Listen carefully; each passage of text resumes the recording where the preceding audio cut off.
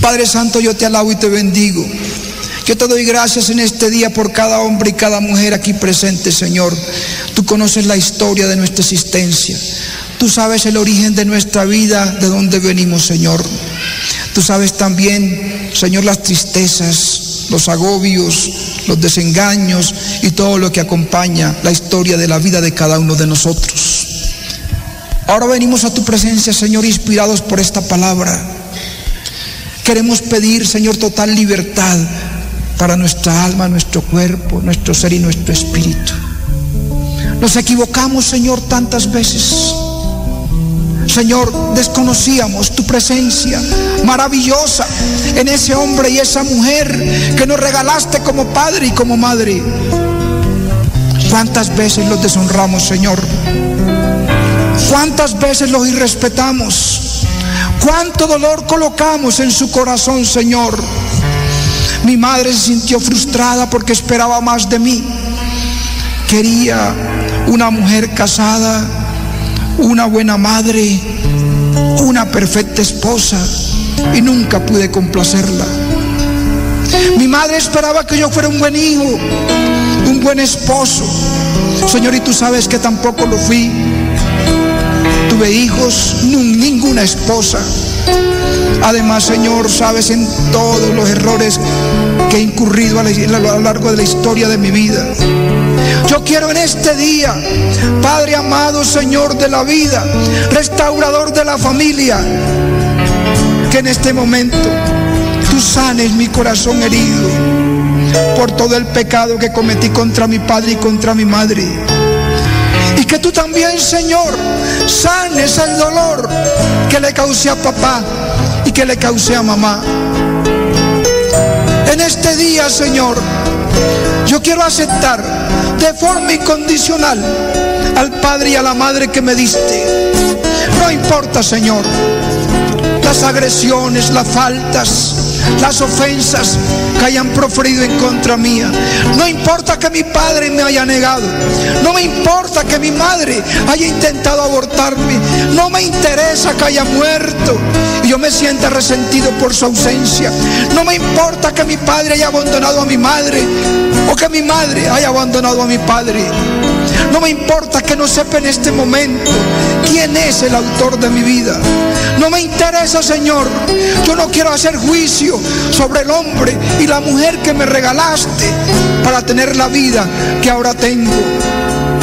En este momento, Señor, yo pongo en tu presencia a mi Padre, pongo en tu presencia a mi Madre, Señor, y te los entrego.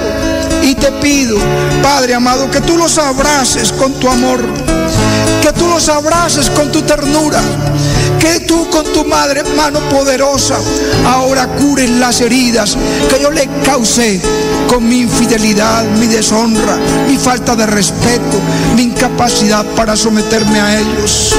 Te pido perdón, Señor, por el mal que hice a papá y a mamá. Y también yo perdono a mi padre y perdono a mi madre por el mal que me hayan hecho, Señor. No quiero perder la maravillosa posibilidad que me estás brindando de que el cielo se abra para mí. Por eso, en este momento rompo con toda atadura en tu nombre poderoso, Señor Jesús, toda atadura que provenga de mis padres hacia mí y toda cadena que yo haya establecido de mi vida hacia mis padres. Señor, te entrego a mi cónyuge, entrego a mi esposa, te entrego a mi esposo incondicionalmente. Tú pusiste a esa mujer en mi camino, tú pusiste a ese hombre en mi camino, Señor. Hay un plan que tú quieres que yo desempeñe. Me he equivocado tantas veces, Señor. He hecho tantas cosas de forma equivocada. Le he juzgado, le he condenado. No he entendido que tú la colocaste a mi lado más bien para que yo fuese fuente de perdón y de sanación. Te pido perdón, Señor, por el dolor que he causado a mi cónyuge, a mi esposo o a mi esposa. Bendícelo, Señor. Envuélvelo en tu amor. Úngelo con tu poder. Úngela con tu poder, Señor. Permite que esa persona, ese hombre o esa mujer experimenten en este momento donde se encuentren el maravilloso poder de tu amor y de tu presencia.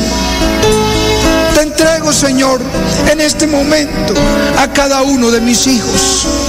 Yo te pido que recuerdes ahora el nombre de cada uno de tus hijos. Menciónalos ahora mentalmente. A cada uno de mis hijos, Señor. Te entrego especialmente a ese hijo o a esa hija que me ha causado tanto dolor, Señor. Tal vez por ignorancia la maldije. Tal vez fruto de la ira le desee algún mal. Tal vez le dije cosas indebidas, Señor. Ahora yo recojo todo eso, Señor. Lo pongo a tus pies. Rompo, Señor, toda maldición proferida contra cualquiera de mis hijos. Los perdono de forma incondicional. No importa lo que hayan hecho, Señor en tu nombre y por el poder que me has dado, Señor, como Padre o como Madre, ahora yo desato totalmente cualquier atadura que haya instaurado sobre cualquiera de mis hijos, especialmente sobre aquel que más dolor ha causado en mi vida. Perdono a todos los miembros de mi familia.